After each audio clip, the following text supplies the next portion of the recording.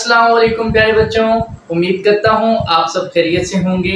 Welcome back to my YouTube channel chemistry for you तो photo chemistry के chapter में previous lecture में हमने जबलोंस्की डायग्राम को डिटेल के साथ स्टडी किया था। और उसके अंदर हमने वो तमाम फ़ोटो फ़िज़िकल प्रोसेसेस के बारे में स्टडी किया, जो इलेक्ट्रॉन डी के दौरान करता है। और अलेक्जेंडर जबलोंस्की ने इन तमाम प्रोसेसेस की काइनेटिक्स को और इन तमाम प्रोसेसेस को डायग्राम्स के थ्रू एक्सप्लेन किया था, जिन्हें हम जबलोंस्की डायग्राम कहते हैं। और पिछले लेक्चर में हमने वो तमाम प्रोसेसेस को जबलोंस्की डायग्राम के थ्रू समझा। तो प्यारे बच्चों, उन प्रोसेसेस में जो फ्लोरिसेंस और फास्ट फास्फोरिसेंस के दो टॉपिक्स थे, या दो प्रोसेसेस थे, ये बहुत ज़्यादा इंपॉर्टेंट है और इनमें से क्वेश्चन आने के चांसेस बहुत ज़्यादा होते हैं। तो इसलिए हम इनको वन बाय वन थोड़ा डिटेल में जाके स्टडी करेंगे। तो मेन पिछली बातें ही हैं।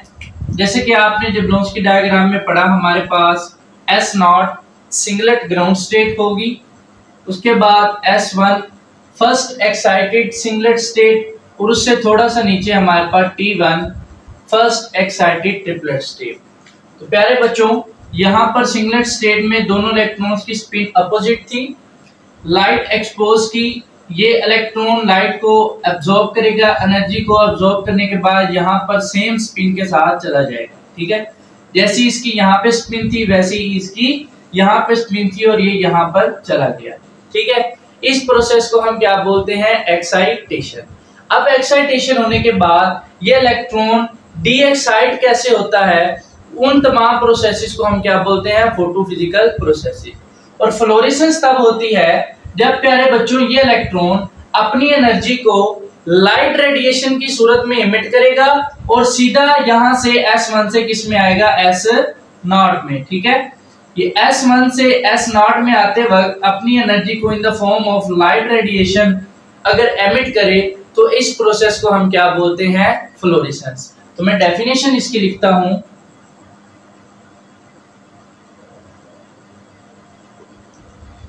The process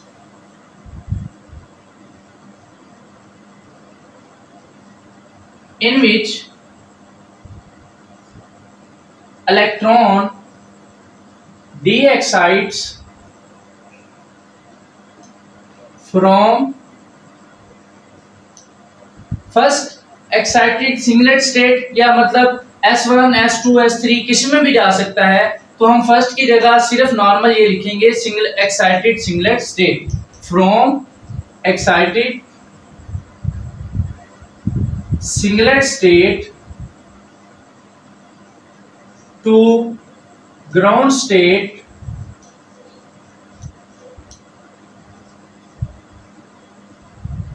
with the emission of light radiations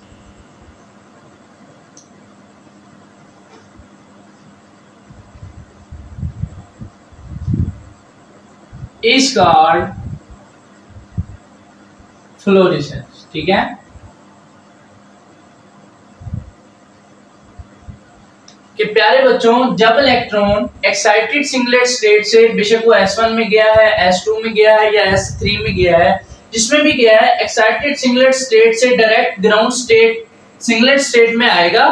और उसके साथ साथ जो उसने एनर्जी एक्साइटेशन के वक्त एब्जॉर्व की थी, उस एनर्जी को डी एक्साइटेशन के वक्त in the form of light radiation emit करे तो उस प्रोसेस को हम क्या बोलते हैं? फ्लोरिसेंस उसके बाद प्यारे बच्चों, इसके की पॉइंट्स की बात करते हैं। एक इंपॉर्टेंट बात आपने ये ध्यान में रखनी है कि जब इलेक्ट्रॉन फ्लोरिसेंस करता है मतलब S1 से S नॉट में डी एक्साइटेशन करता है तो इसकी स्पिन मल्टीप्लिसिटी सेम रहती है। मसलन, यहाँ पर सिंगलेट स्टेट में इसकी स्पिन मल्टीप्लिसिटी कितनी थी? वन और जब यहाँ पर आया, इधर भी सिंगलेट स्टेट है और सिंगलेट स्टेट की मल्टीप्लिसिटी कितनी होती है? वन ये मल्टीप्लिसिटी काउंट करना, ये मैं आपको प्रीवियस लेक्चर जिब्लोंस्की डायग्राम में हर चीज़ समझा चुका हूँ। तो जब फ्लोरिसेंस का प्रोसेस होता है प्यारे बच्चों तो इलेक्ट्रॉन की स्पिन मल्टीप्लिसिटी क्या रहती है? Same spin multiplicity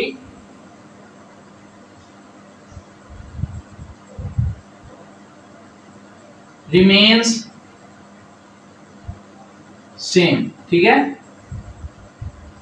उसके बाद प्यारे बच्चों, दूसरे की पॉइंट की बात करते हैं। तो ये जो फ्लोरिशंस का प्रोसेस होता है, ये बहुत तेज होता है। यानी in very short time the process of fluorescence is completed ठीक है? तो इसका जो हमारे पास टाइम स्पैन है, या लाइफ स्पैन है, वो हमारे पास कितना होता है जी? Ten raised power minus fifteen second ठीक है?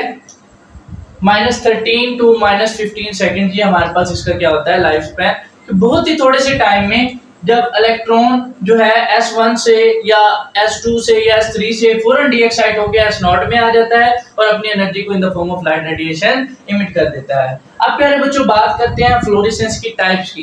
तो there are two types of fluorescence prompt fluorescence and delayed fluorescence तो हम बारी बारी इनको देख लेते हैं कि ये क्या होता है। तो प्यारे बच्चों टाइप में जो हमारे पास पहली है, वो है जी prompt फ्लोरिसेंस ठीक है?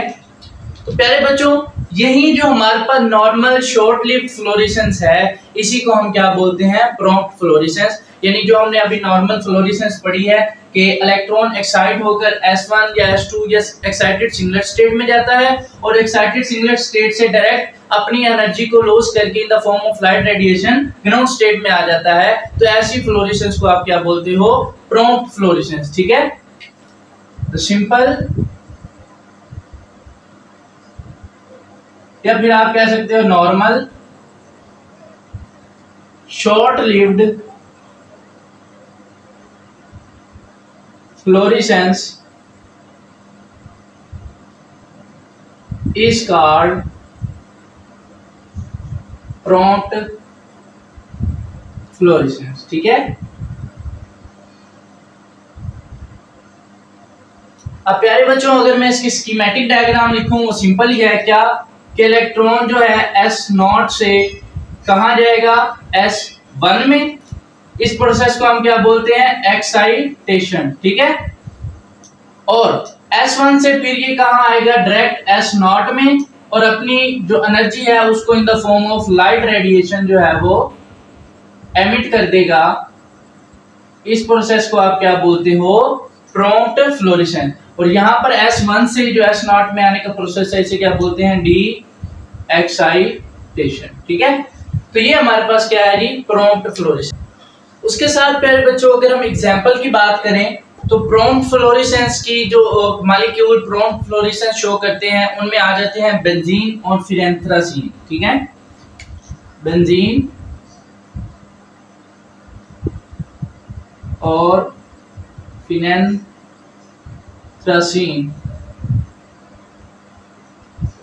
ठीक है?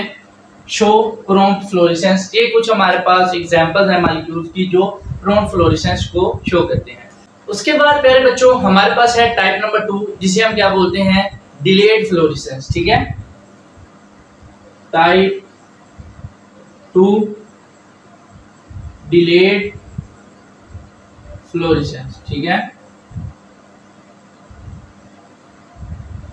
प्यारे बच्चों, जो डिलेड फ्लोरिसेंस है, इसका स्पेक्ट्रा होता तो प्रॉन्ट फ्लोरिसेंस की तरह ही है। लेकिन इसका जो लाइफ स्पैन है, वो इससे क्या होता है ज़्यादा? नाम से ज़ाहिर हो रहा होगा डिलेड का मतलब है इसमें थोड़ा सा टाइम लिमिट जो है टाइम जो है वो ज़्यादा कंज्यूम होगा, ठीक है? It has delayed fluorescence has similar spectra but larger life span ठीक है? अब डिलेड फ्लोरिसेंस होती कैसे है? तो प्यारे बच्चों डिलेड फ्लोरिसेंस में एक्चुअली ये होता है कि सबसे पहले इलेक्ट्रॉन पे लाइट पड़ेगी, वो लाइट एनर्जी को अब्सॉर्ब करके एक्साइटेड सिंगलेट स्टेट में जाएगा। और अगर एक्साइटेड सिंगलेट स्टेट से डायरेक्ट एस नॉट में आ जाता है, वो क्या कहलाती है? प्रॉम्प्ट फ्लोरिसेंस लेकिन डिलेड फ्लोरिसेंस में ये होता है कि ये इलेक्ट्रॉन S1 से पहले जाएगा T1 के अंदर, ठीक है? अपनी स्पिन इन्वर्ट करेगा। ठीक है? क्योंकि ट्रिपलेट स्टेट में इसकी और इसकी ये वाली स्पिन क्या होनी चाहिए? सेम होनी चाहिए। ये बेसिक चीज़ें हैं, ठीक है? अच्छा डिलेड फ्लोरेसेंस में क्या होगा कि पहले इलेक्ट्रॉन यहाँ से एनर्जी अब्सॉर्ब करके सिंगलेट स्टेट में जाएगा, यहाँ से स्पिन इन्वर्ट करके T1 में आएगा और इस प्रोसेस को हम क्या बोलते हैं? इंटर सिस्टम क्रॉसिंग ठीक है? उसके बाद ये इस T1 से वापस स्पिन इन्वर्ट करके कहा आता है? इधर। और इस प्रोसेस को बोलते हैं रिवर्स इंटर सिस्टम क्रॉसिंग, ठीक है? और जब ये वापस reverse system inter system crossing करके इधर आएगा, और उसके बाद S1 से इधर S नॉट में आएगा और अपनी एनर्जी को in the form of light emit करेगा this process is called delayed fluorescence तो इसकी स्कीमेटिक डायग्राम में लिखता हूँ। सबसे पहले क्या होगा कि इलेक्ट्रॉन एस नॉट से जाएगा एस वन में। इस प्रोसेस को क्या बोलते हैं? एक्साइटेशन ठीक है? एक्साइटेशन ठीक है? उसके बाद S1 से इसने कहा जाना है T1 में। इसको बोलते हैं हम इंटर सिस्टम क्रॉसिंग उसके बाद प्यारे बच्चों, ये T1 से वापस अपनी स्पिन को इन्वर्ट करके S1 में आता है। T1 से S1 में इसको बोलते हैं रिवर्स इंटर सिस्टम क्रॉसिंग और फिर प्यारे बच्चों, ये S1 से वापस S नॉट में आएगा।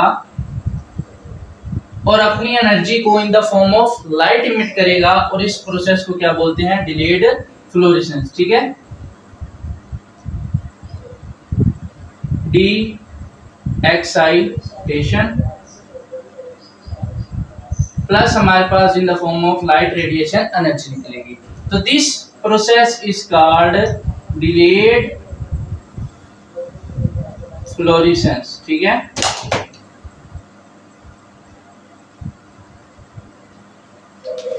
तो ये प्यारे बच्चों, हमारे पास फ्लोरिसेंस का टॉपिक था, बहुत ही सिंपल सा था और it is all related about to the Jablonski diagram because it is an application या आप कह सकते हैं it is a process of Jablonski diagram और सिंपल सी चीज़ है कि जब इलेक्ट्रॉन एस वन से डायरेक्ट एस नॉट में आएगा और अपनी एनर्जी को in the form of light radiation emit करेगा तो उसे हम क्या बोलेंगे?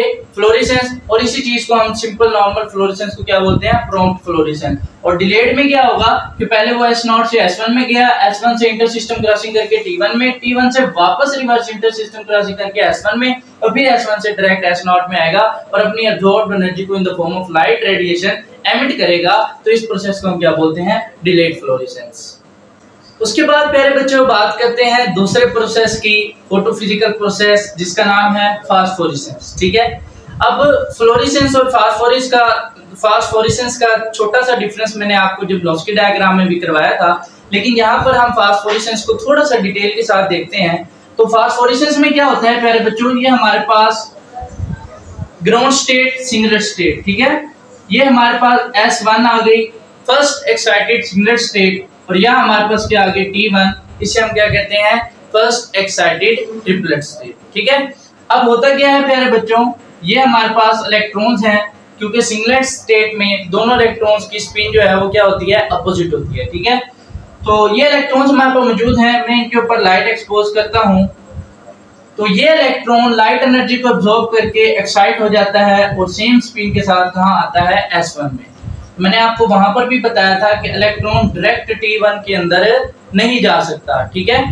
तो सबसे पहले ये क्या करेगा? एनर्जी को ऑब्जॉर्व करके ये राइट वाला इलेक्ट्रॉन सेम स्पिन के साथ जाएगा तो वो सिंगलेट स्टेट में, ठीक है? अब ये सिंगलेट स्टेट में आ चुका है। अब यहाँ से क्या करता है? ये इलेक्ट्रॉन अपनी स्पिन को इन्वर्ट करता है और किसके अंदर आता है? T1 के अंदर। ठीक है, यहाँ से इसने स्पिन को इन्वर्ट किया और यहाँ पर आ गया और इस प्रोसेस को हम बोलते हैं इंटर सिस्टम क्रॉसिंग ठीक है, उसके बाद प्यारे बच्चों, ये इलेक्ट्रॉन अब वापस एस नॉट में आएगा और अपनी एनर्जी को in the form of light radiation emit करेगा और साथ साथ स्पिन को भी इन्वर्ट करेगा, क्योंकि यहाँ पे ट्रिपलेट स्टेट है, यहाँ पे क्या है सिंगलेट तो इस सिंगलेट में आने के लिए इसको अपनी स्पिन को भी क्या करना पड़ेगा इन्वर्ट तो ये इलेक्ट्रॉन जो है अपनी स्पिन को इन्वर्ट करता है और वापस आता है और अपनी एनर्जी को in the form of light radiation emit करता है तो इस प्रोसेस को हम क्या बोलते हैं? फास्ट फास्फोरिसेंस तो मैं इसकी डेफिनेशन लिखता हूँ। The process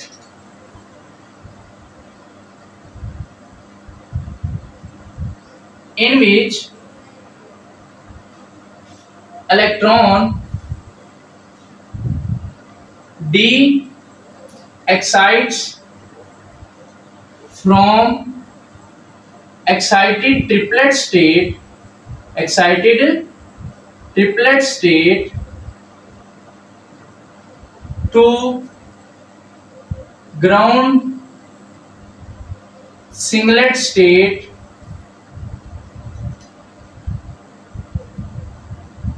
with spin invariant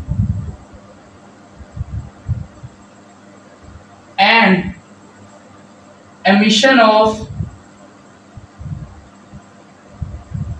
energy in the form of light radiation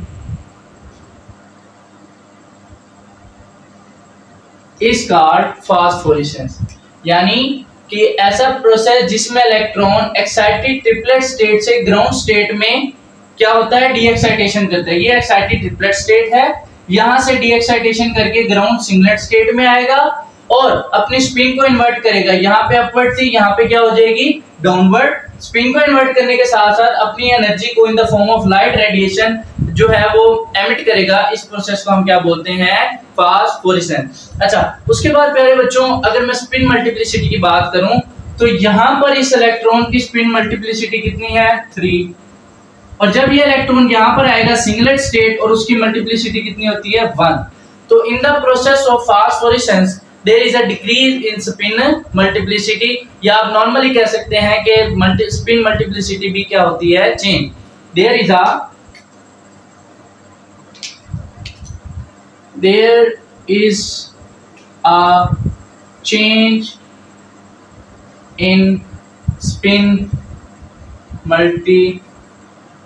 multiplicity ठीक है? तो स्पिन मल्टीप्लिसिटी भी यहाँ पे क्या होती है? चेंज और कैसे होती है जी? थ्री से हमारे पास कहा जाती है? वन ठीक है? उसके बाद प्यारे बच्चों, अगर मैं इसकी स्कीमेटिक डायग्राम बनाऊँ तो वो कैसे होगी जी? सबसे पहले एस नॉट से इलेक्ट्रॉन कहा जाएगा? एस वन में। एस वन से इलेक्ट्रॉन कहा जाएगा फिर? टी वन में, ठीक है? और फिर टी वन से कहा आएगा? एस नॉट में। ये जो प्रोसेस है, इसको हम क्या बोलते हैं? एक्साइटेशन ठीक है? इसको हम बोलते हैं इंटर सिस्टम क्रॉसिंग और इसको हम क्या बोलते हैं? डी एक्साइटेशन ठीक है? और जब ये डी एक्साइटेशन करेगा, अपनी एनर्जी को in the form of light radiation जो है वो इमिट करेगा। तो उसके बाद एग्ज़ाम्पल की बात करें तो प्यारे बच्चों, जो नेफ्थलीन मालिक्यूल है, वो क्या करता है? फास्फोरेसेंस का फिनोमेना शो करता है। ठीक है? ये जी नेफ्थलीन। तो जैसे कि मैंने आपको जो ब्लॉन्सकी डायग्राम में बताया था, कि ये बेसिक चीज़ें हैं, इनको आपने जहन में रखना है। जब हम आगे रिएक्शंस करेंगे, इसके बाद हमारे रिएक्शंस के टॉपिक स्टार्ट होंगे। उनमें सिर्फ़ यही इस्तेमाल होगा कि एस नॉट से एस वन में गया है एस वन से टी वन में गया है, और टी वन से फिर एस नॉट में आया है, या उसने आगे फर्दर रिएक्शन किया है। तो एग्ज़ाम्पल के तौर पे मेरे पास क्या है जी? नेफ्थलीन है। ठीक है? ये नेफ्थलीन मालिक्यूल है। ये सबसे पहले किस स्टेट में है? एस नॉट में, यानी ग्राउंड स्टेट में, ठीक है? उसके बाद ये एक्साइटेशन करेगा लाइट एनर्जी को एब्जॉर्ब करेगा और किस स्टेट के अंदर जाएगा? अब ये एस नॉट से किसमें जाएगा? एस वन में। तो ये मैंने लिख दी थी एस वन स्टेट ठीक है? ये एस नॉट स्टेट उसके बाद प्यारे बच्चों, ये इंटर सिस्टम क्रॉसिंग करेगा। इंटर सिस्टम क्रॉसिंग करने के बाद ये किसमें आएगा? टी वन में। तो ये जी, अब ये किस स्टेट में आ जाएगा जी? टी वन में। इन स्टेट्स को हम जो है, क्योंकि एक्साइटेड है, हम इसे शो करते हैं, ठीक है? तो ये इस तरीके से हम ये रिएक्शन में मालिक्यूल को शो करेंगे कि एस नॉट से उसने लाइट एनर्जी को अब्जॉर्ब किया और इसमें ट्रांजिशन होंगी। डिफरेंट वो नेक्स्ट लेक्चर में मैं इंशाल्लाह आपको बताऊँगा कि कौन कौन सी ट्रांजिशन होती हैं। तो ट्रांजिशन करने के बाद वो S1 में जाएगा। S1 से इंटर सिस्टम क्रॉसिंग करके T1 में जाएगा। फिर T1 से अपनी एनर्जी को लूज करके S1 में आएगा या फिर वहाँ से आगे रिएक्शन करेगा। तो इस प्रोसेस को हम क्या बोलते हैं? फास्फोरेसेंस कि जब इलेक्ट्रॉन एक्साइट होने के बाद एस वन से टी वन में जाए और टी वन से यहाँ एस नॉट में आए और अपनी एनर्जी को in the form of light radiation emit करे। तो ये था जी हमारा आज का topic fluorescence and phosphorescence I hope आपको एवरीथिंग क्लियर हो गई होगी। अगर कोई बात समझ ना आई हो तो आप कमेंट सेक्शन में पूछ सकते हैं। मिलते हैं नेक्स्ट लेक्चर में। तब तक अपना ख्याल रखिए। खुदा हाफिज़।